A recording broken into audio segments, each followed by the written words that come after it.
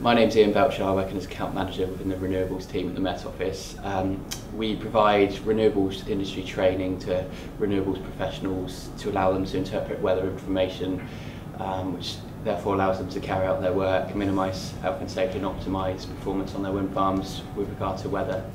Well, it's really important for us as a business if we're going to sell a wind turbine to someone who isn't going to generate any energy from that wind turbine, then we're not really fencing as a business really should.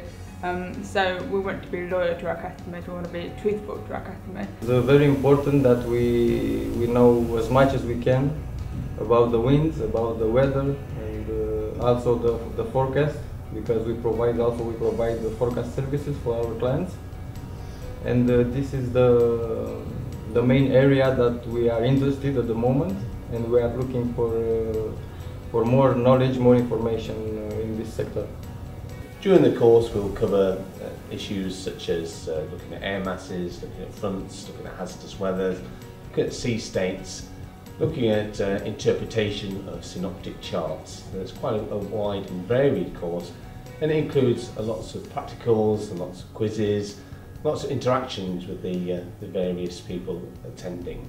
Part of, the, part of the aim of the course is to help educate the, the delegates in interpreting and using the Marketplace products that are available to them.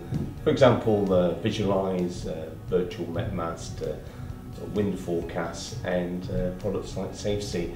And using these products and becoming familiar with these products is going to help them make more informed decisions when they're out, when they're planning their maintenance or when they're operating. Delegates from different companies allows them to share their ideas in a very informal, sort of classroom-based environment. So um, it's very good for sharing ideas and also for, um, for networking.